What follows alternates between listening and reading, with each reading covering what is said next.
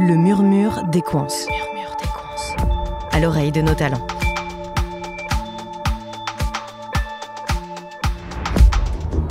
À l'occasion de notre épisode d'été, le Murmure des Cons vous propose un épisode un peu plus long que d'habitude pour parler de la mobilité interne au sein des Cons et plus largement au sein du groupe Bouygues. Pour en parler, nous retrouvons non pas un, non pas deux, mais six témoins afin qu'ils reviennent chacun sur leur propre parcours de mobilité. Bonjour, je suis Julie Troisvallée. Euh, j'ai fait une mobilité au sein d'Axima euh, en passant de l'agence de Biarritz à l'agence de Montpellier. Bonjour, je m'appelle Frédéric. En 2023, j'étais en poste en contrôle de gestion dans le groupe TF1. Et donc, j'ai fait une mobilité sur euh, du contrôle de gestion chez Equance en région toulousaine. Bonjour, je suis Elisabeth. J'ai changé de région de Lille vers Aubagne au 1er janvier 2024. Bonjour, moi c'est Thomas. J'ai fait une mobilité en interne euh, sur l'année 2024. Donc bonjour, moi c'est Anne-Sophie. En 2021, je suis passée de Endel à Axima sur un poste de responsable commercial. Et en octobre de 2023, je suis passée donc chez Axima dans la même société d'un poste de responsable commercial et directrice d'agence adjointe. Bonjour, Eric Perrego. J'ai fait une mobilité euh, de chez Bouygues Bâtiment, chez euh, Equance, Axima, en novembre 2023. Souhaiter une mobilité pour progresser dans sa carrière, c'est une aspiration tout à fait naturelle. Et rien de mieux que d'en discuter avec votre manager, comme l'a fait Anne-Sophie. Pour moi, ma carrière, mon poste, c'est pas euh, uniquement le moyen de gagner de l'argent, c'est aussi, euh, on est dans des métiers de projet, il y a de l'énergie, il, y a de la compétition, donc c'est des boulots où il faut vraiment qu'on se donne beaucoup. Et pour moi, c'est important quand euh, je viens travailler, si je rallume mon PC le soir quand je rentre chez moi, de savoir pourquoi je le fais. Et du coup, il faut que ce soit un métier qui, qui me porte, qui me passionne, qui m'entraîne.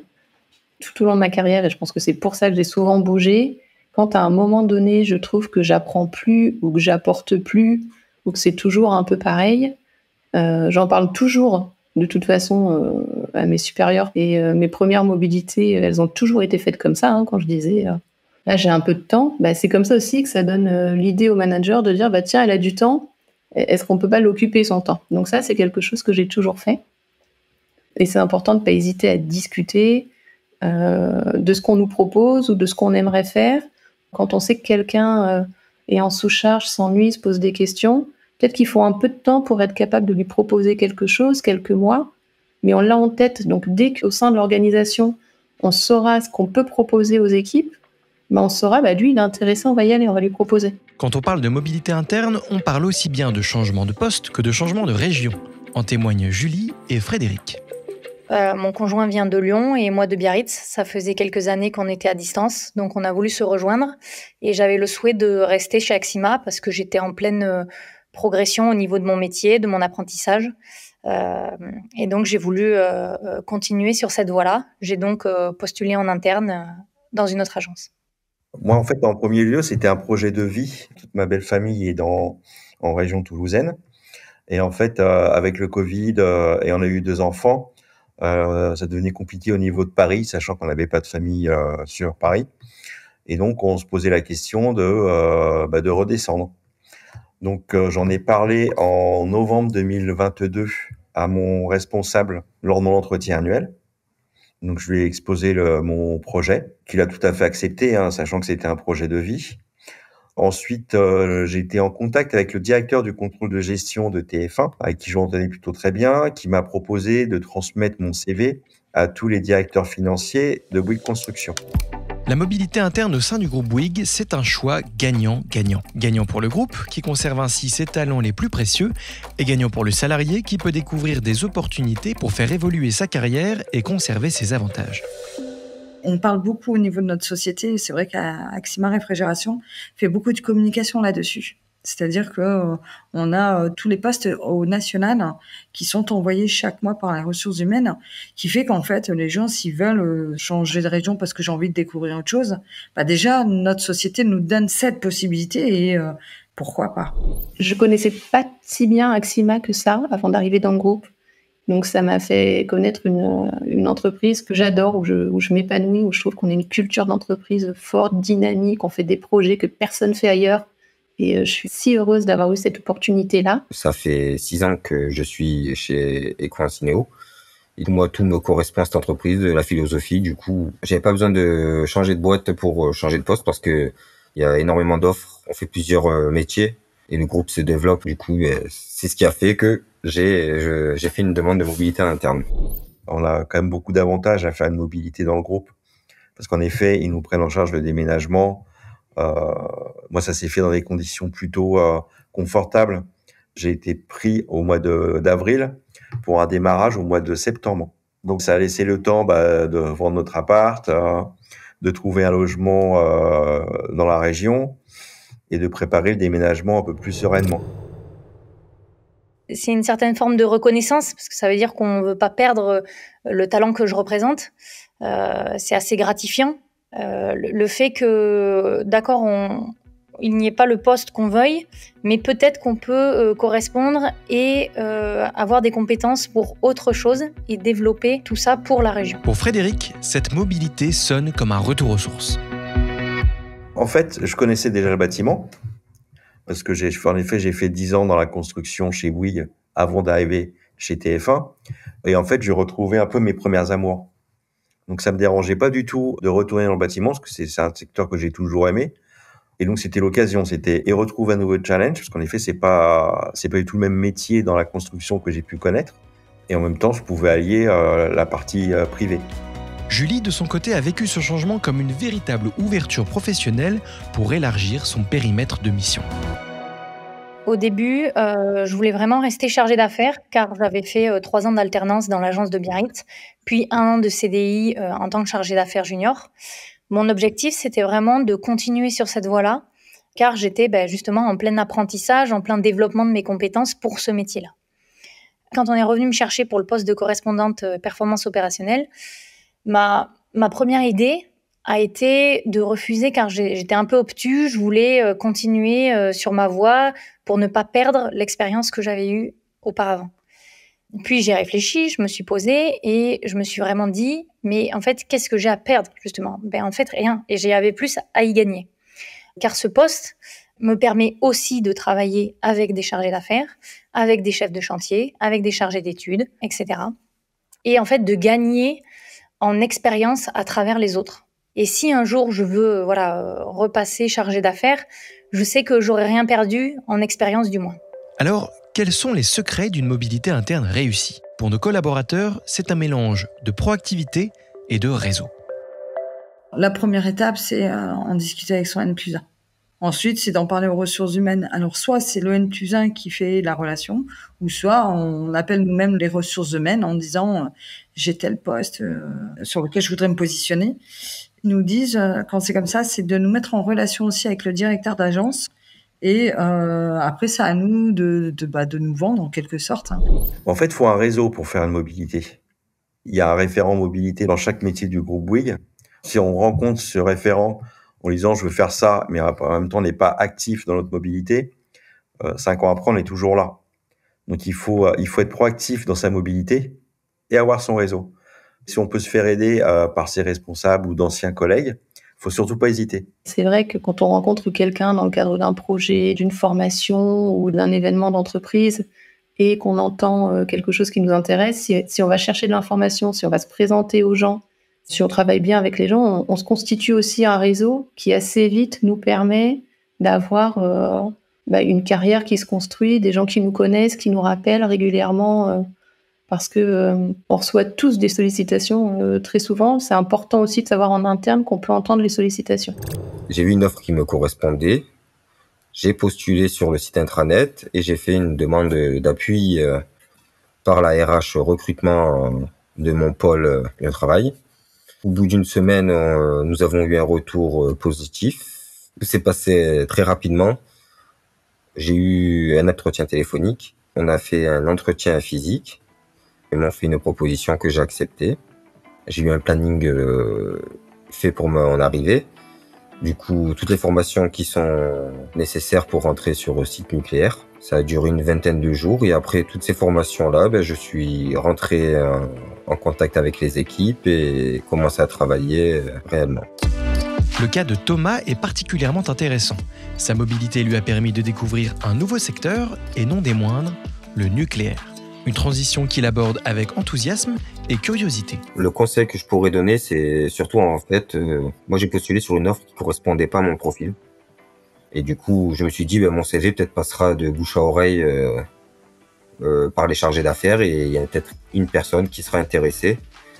Ben, le bilan de cette mobilité, c'est que ça s'est passé très rapidement. J'ai commencé à travailler au bout d'un mois. Il faut dire qu'avoir une expérience au sein du groupe est un véritable atout pour comprendre les sujets des coins dans toute leur complexité. Forcément, euh, venant d'une culture, euh, je dirais, euh, différente, ça permet d'apporter des choses qui sont bonnes dans une culture ou des idées, etc., qui peuvent être différenciantes. Après, c'est aussi au, au quotidien, c'est-à-dire que par rapport à d'autres collègues qui sont certainement plus pointus même dans le cœur de métier de l'énergie, bien que j'ai quand même un parcours important dans les métiers de l'énergie, mais très vite, je ressens bien que j'apporte une vision très globale de ce qu'est le bâtiment intégrer peut-être un peu plus facilement les enjeux de la construction dans sa globalité et des, interfaces. Alors en pratique, comment ça se passe? Pour Anne-Sophie, la transition lui a permis d'entamer sa prise de poste tout en dégageant du temps pour ses enfants en bas âge. J'ai pu, euh, de manière assez simple, appeler mon supérieur de l'époque, discuter avec lui, lui dire ce qu'on me proposait. Lui m'a quand même proposé des choses parce qu'on s'entendait très très bien, mais avoir une vraie euh, réflexion sur l'intérêt du poste je revenais de congé parental, savoir aussi quel poste serait le mieux pour moi d'un point de vue euh, personnel, parce que c'est important dans ces postes de développement commercial où c'est assez exigeant et il faut, il faut y aller. Ben, il faut aussi pouvoir gérer euh, la vie perso, la vie pro pour que ni l'une ni l'autre ne soit ralentie. Et de pouvoir discuter avec les deux de manière complètement ouverte, c'était très bien. Et aussi, j'ai repris un travail en, temps partiel, en arrangeant complètement mon temps partiel par rapport aux affaires et ma vie. Et c'était une reprise euh, hyper sympa. Changer de métier, c'est une expérience stimulante, oui, mais aussi un saut vers l'inconnu. Et c'est pourquoi Bouygues met tout en œuvre pour que la mobilité soit la plus confortable pour ses collaborateurs. Ah oui, c'est super confortable. C'est euh, beaucoup plus difficile de quitter le groupe pour aller chercher euh, un travail dans une autre entreprise. Là, on a, on, a, on a tout le confort. On garde notre salaire, parce que pour le coup, qu'on soit à Paris, à Toulouse ou à Marseille, on ne perd rien. Je voulais démarrer une nouvelle année au 1er janvier. Je voulais pas que ça soit en milieu d'année. Donc c'est vrai que j'ai eu euh, cinq mois pour tout préparer en fait. Que ça soit euh, pour le professionnel, que ça soit le côté perso. Euh. En fait, la mobilité interne, ça m'a aussi permis de garder mon salaire, mes avantages, mon contrat en fait. Et c'est vraiment une facilité à bouger géographiquement dans mon cas car j'ai pu faire le choix aussi de prendre un mois de coupure, euh, tout ça en accord avec les RH et le directeur régional. Euh, et ça, c'est des choses qui sont enfin, plus difficilement faisables si on change d'entreprise. Il faut tout refaire, tout revoir, négocier certaines choses, accepter euh, des compromis, etc. Là où dans une mobilité interne, on a tout à gagner en fait. On reste sur les mêmes bases. On, a d'ailleurs des avantages à la mobilité, tels que la prise en charge euh, du déménagement ou la recherche d'appartements, etc. Tout ça, ce sont des petits avantages qui nous permettent que la transition se fasse de manière, euh, j'ai envie de dire, douce et aisée. Vous ont été parfaits. Sur euh, le fait de pouvoir garder ou pas voiture, téléphone, choisir la date ou le, où le transfert s'effectuait, ça, a été, euh, ça a été assez simple. Alors comment se préparer mentalement à entamer sa nouvelle aventure professionnelle au sein du groupe Bouygues? Je pense que quand on fait une mobilité, euh, faut pas avoir peur de l'inconnu. Il faut vraiment aller de l'avant et c'est ça. C'est pas parce qu'on nous propose un autre poste qui correspond pas tout à fait à nos attentes euh, qu'il faut se braquer et se refermer tout de suite.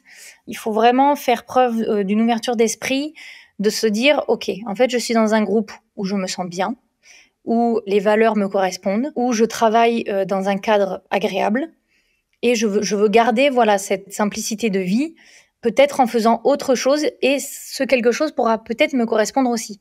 En fait, aujourd'hui, je, je m'épanouis totalement. Je fais beaucoup de choses qui me plaisent, euh, où tous les jours je me lève et je me dis bon sang, je suis contente d'aller au travail, je suis heureuse de faire ce que je fais et je me sens vraiment utile en fait à mes collègues de travail que je vois tous les jours et je le ressens j'étais quand même dans cette optique euh, voilà très positif le déménagement le nouveau challenge que j'allais avoir dans le sud mais c'est vrai que des fois il y a, le petit sentiment d'abandon qui, venait là en me disant mais est-ce que je fais bien, je fais pas bien?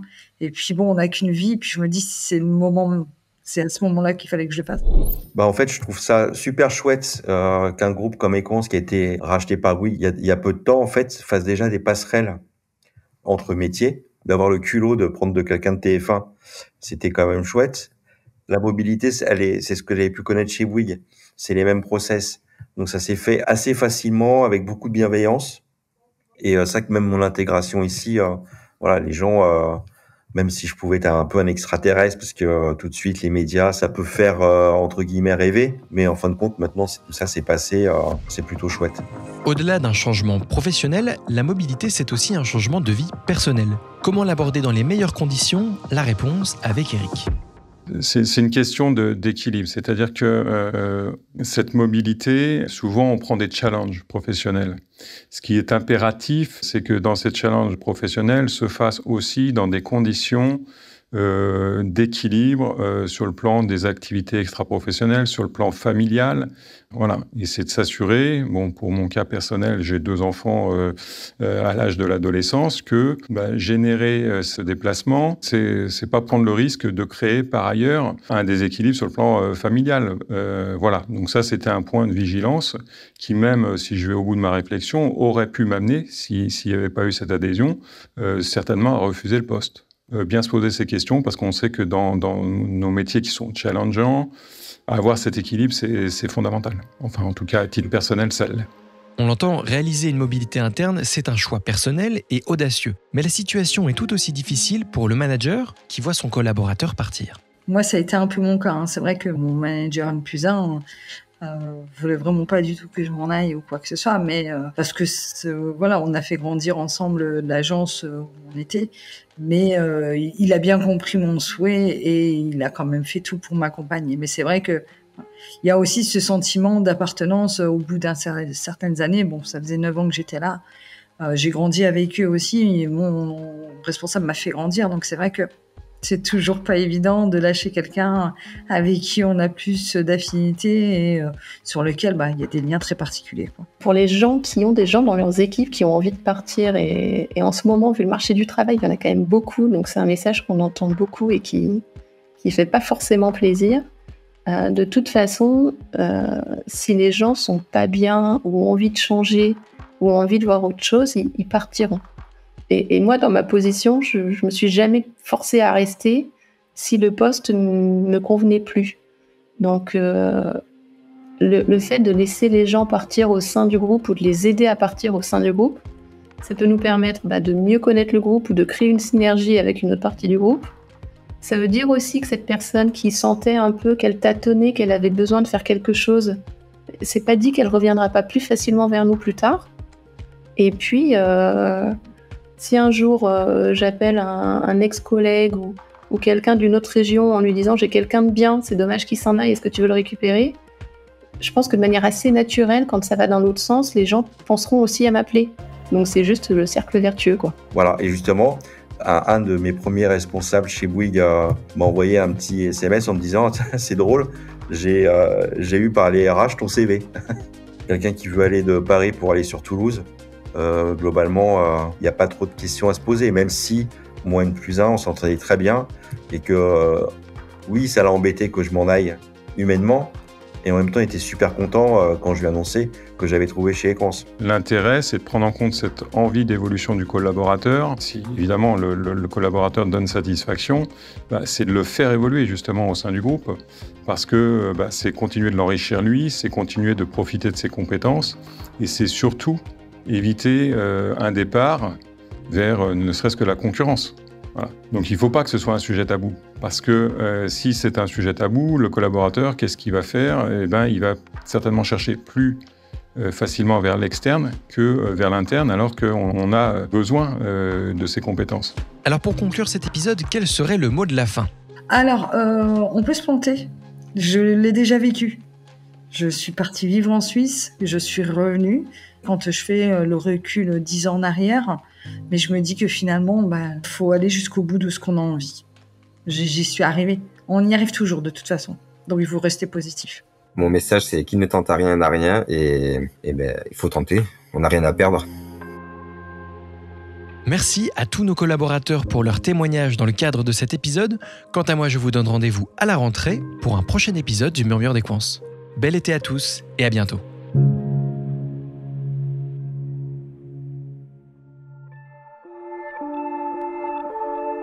Merci d'avoir écouté cet épisode du Murmure des Coins. À bientôt pour un prochain portrait.